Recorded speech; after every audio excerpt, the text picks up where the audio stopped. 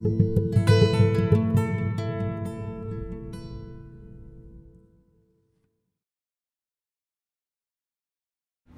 was your trade union set up and how was it set up? Kiedy powstał Pana związek i w jaki sposób? Y, Historycznie rzecz ujmując, w dniu 8 października 1982 roku y, Sejm y, Polskiej Rzeczpospolitej Ludowej, nasz parlament, uchwalił ustawę o związkach zawodowych i od tego momentu mogły y, powstawać w zakładach pracy, w przedsiębiorstwach organizacje związkowe.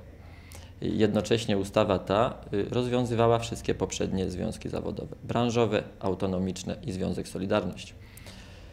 Y, Już w kilka dni po uchwaleniu tej ustawy tu w przedsiębiorstwie kilka osób, to znaczy dokładnie siedem, siedmiu kolegów, znajomych, tu z pracy z różnych wydziałów, postanowiło taką organizację związkową tutaj założyć. Zgłosili się zgodnie y, z wytycznymi, czyli y, z przepisami do dyrektora przedsiębiorstwa, informując go o tym fakcie. Y, Od tego dnia rozpoczęły się prace związane z przygotowywaniem odpowiednich dokumentów niezbędnych do zarejestrowania przez Sąd Wojewódzki w Warszawie powstającej organizacji. Przede wszystkim chodziło tutaj o statut związku zawodowego i o dokumenty programowe. Y, Zostało to przez tą grupę wykonane i w dniu 7 grudnia 1982 roku y, organizacja związkowa została zarejestrowana. A zgodnie z ustawą od dnia 2 stycznia 1983 roku rozpoczęła swoją działalność statutową. Przy czym y, oczywiście na początku była to grupa siedmiu osób, y, grupa ta rosła. Y, w lutym odbyło się pierwsze walne zgromadzenie, czyli zebranie wszystkich członków związku. Wtedy było y, kolegów y, 213 czy 215, ja nie pamiętam, y, tylko z dokumentów to mogę stwierdzić. Y, Postanowiono tam, że dopiero gdy organizacja będzie bardziej reprezentatywna dla naszego dużego przedsiębiorstwa y, i stwierdzono, że to gdzieś około tysiąca osób, gdyby było, y, przeprowadzona zostanie konferencja delegatów związku, zostaną wybrane władze statutowe, wypracowany zostanie program na kadencję y, do realizacji przez te władze i stało się to w dniu 15 czerwca 1983 roku. Także od tamtego dnia można liczyć normalną działalność statutową organizacji związkowej. Dlaczego y, Pan, y, dlaczego Pan i Pana koledzy zdecydowali się założyć ten związek? Znaczy jedno zdanie wstępne. Y, Ja akurat y, tego związku nie zakładałem, bo znacznie później wstąpiłem do organizacji i tu jest właśnie odpowiedź na pytanie dlaczego. Y, Wspólnie z kolegami, jak pracowaliśmy, stwierdzaliśmy, że jednak jest wiele spraw wokół nas, które nam przeszkadzają po prostu. I oprócz tego, że widzimy, że nam przeszkadzają, to samo narzekanie nic nie wniesie. No trzeba to po prostu zrobić. Skoro nam coś przeszkadza, to trzeba te przeszkody usunąć. I tak to właśnie wyszło. Widzieliśmy w organizacji związkowej możliwość załatwienia między innymi naszych własnych spraw, a przy tym spraw i wielu, wielu innych ludzi, którym również te sprawy przeszkadzały. I tak to się zaczęło. Nie przypuszczałem, że będę przewodniczącym organizacji związkowej, no ale jak już tak wyszło, w związku z tym dalej te sprawy realizujemy.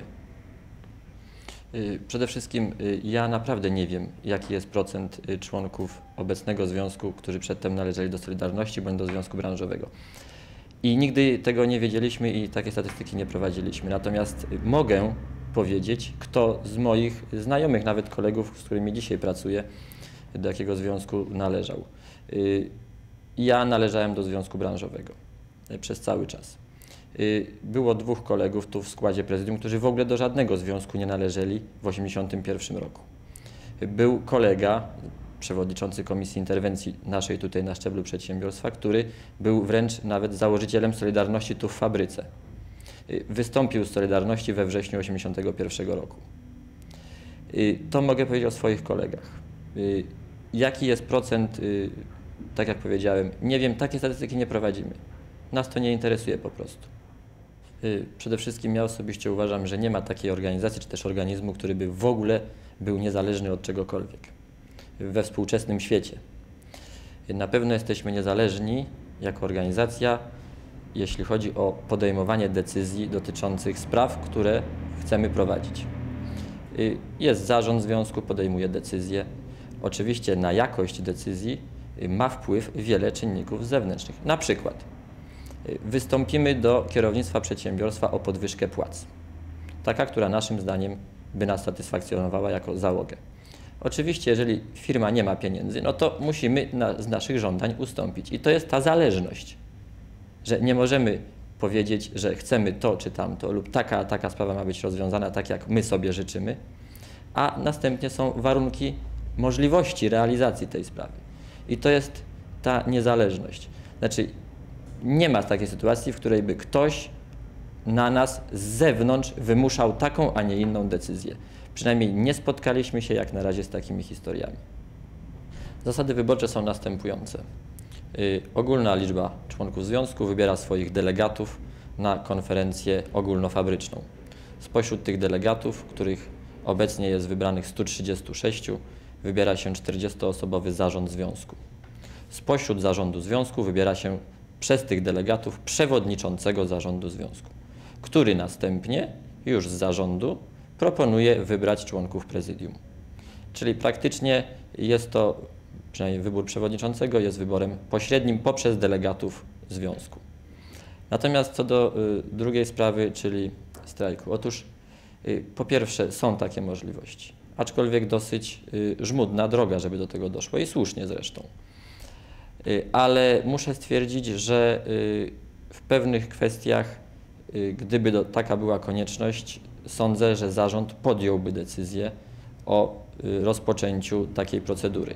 Muszę powiedzieć, że raz doszło do tego, rozpoczęliśmy za, na, na mocy uchwały zarządu związku spór zbiorowy z kierownictwem przedsiębiorstwa, ale zakończyło się to na etapie negocjacji. Wyjaśniono sprawy, podpisano porozumienie kończące spór i sprawa była dalej realizowana dobrze. Y, Ja sądzę, że są pewne zasadnicze różnice w ogóle funkcjonowania organizacji związkowych y, w Polsce czy w krajach socjalistycznych, a na Zachodzie. Y, Zgodnie z obowiązującym ustawodawstwem u nas w Polsce praktycznie organizacja związkowa jest jak gdyby współgospodarzem zakładu pracy, a więc ma naprawdę dużo możliwości oddziaływania na podejmowane decyzje co do funkcjonowania przedsiębiorstwa. Współpraca y, z Radą Pracowniczą jako organem przedsiębiorstwa, z dyrekcją. Także na etapie dyskusji przed podjęciem decyzji jest możliwość wpływania na jakość tych decyzji. I dlatego rzadko się y, zdarza, żeby musiało dochodzić do sporów aż tak radykalnych. Aczkolwiek y, w wielu przypadkach są to między poszczególnymi działaczami a kierownictwem przedsiębiorstwa spory bardzo istotne, wręcz nawet długotrwałe. Ale z reguły walka na argumenty przynosi więcej efektów niż walka na pięści.